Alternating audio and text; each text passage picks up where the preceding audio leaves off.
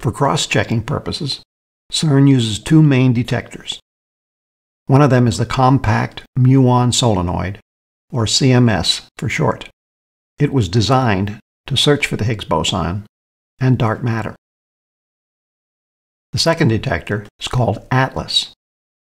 It uses different technical solutions and a different magnet system.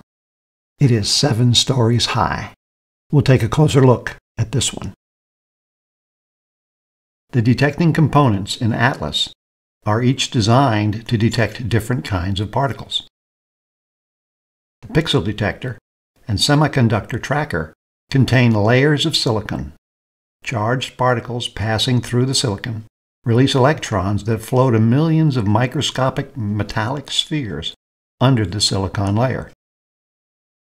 These are all electronically connected to the computer that keeps track of their path.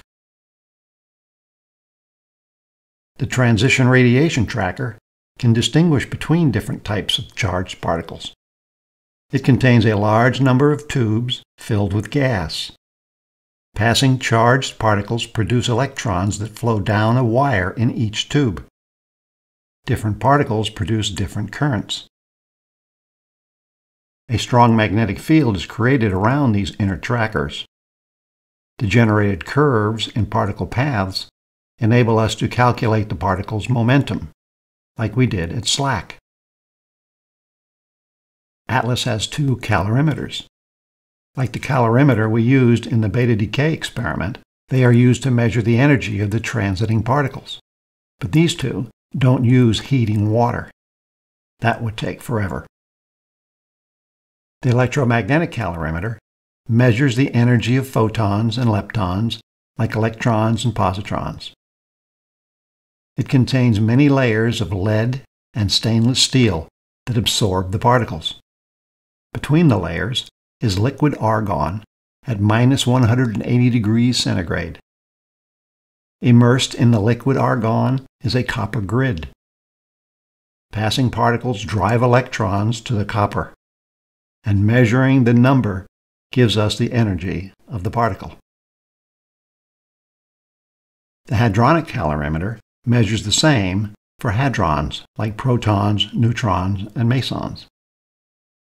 It is a large array of steel and scintillator sheets that create photons when struck by charged particles.